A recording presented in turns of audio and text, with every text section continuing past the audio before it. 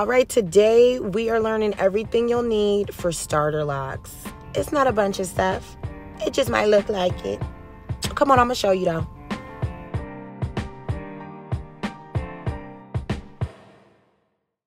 Okay, we have everything laid out. Let's start off with a wide tooth rat tail comb.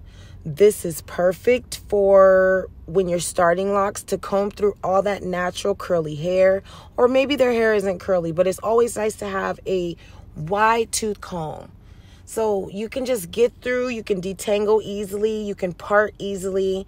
Also, with this comb, too, it's just another option as far as parting out the sections. Just like that wide tooth comb, there's a rat tail end on both of these. These two combs here, um, these are tapered combs. They both are what you'll typically use for um, starter locks to actually coil the hair itself.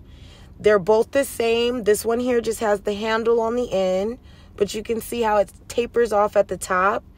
It just gives you like a better angle to get in there and really comb coil um, each of those sections that you're doing, okay? So those two say they, they serve the same purpose, okay? So moving along, we have our lock and twist gel. I love this stuff. Um, it's real creamy. It's very inexpensive. I, it's about $5.99 at most um, beauty supplies. You can find it in Walmart. Um, this is perfect for starter locks, okay? I'm going to show you what it looks like. Like I said, it's super creamy.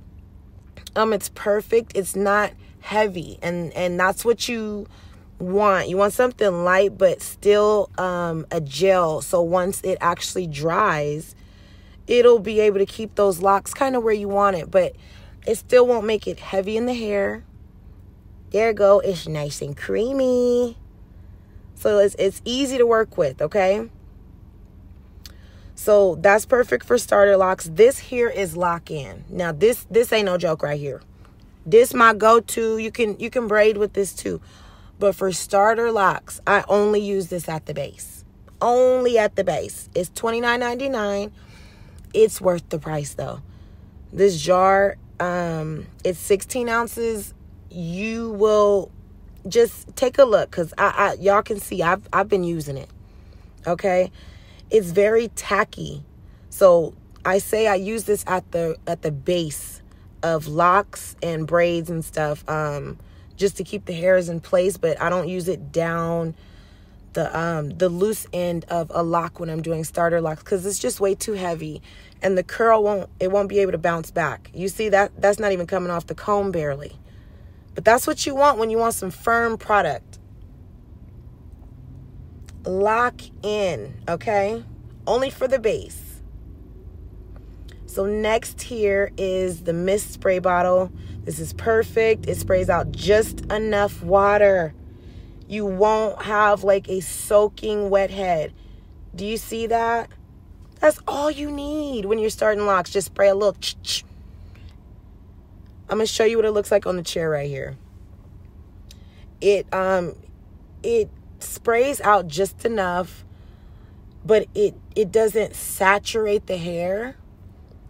But you see it still it still is a lot of moisture there.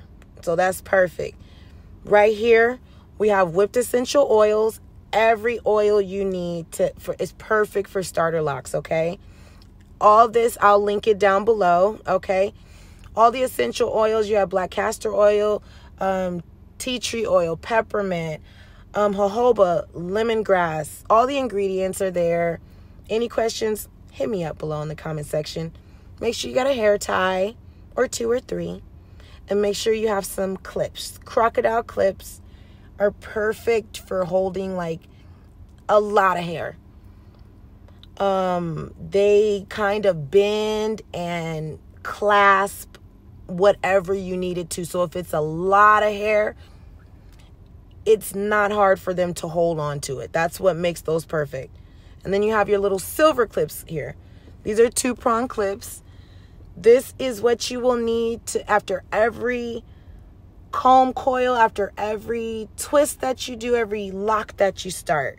Even when you're doing retwists, you want some of these. Um, these are two prong clips, but you can use. Um, there's other different silver clips. Okay, these will hold them in place until your locks dry. You need them. Okay, but that's that's it.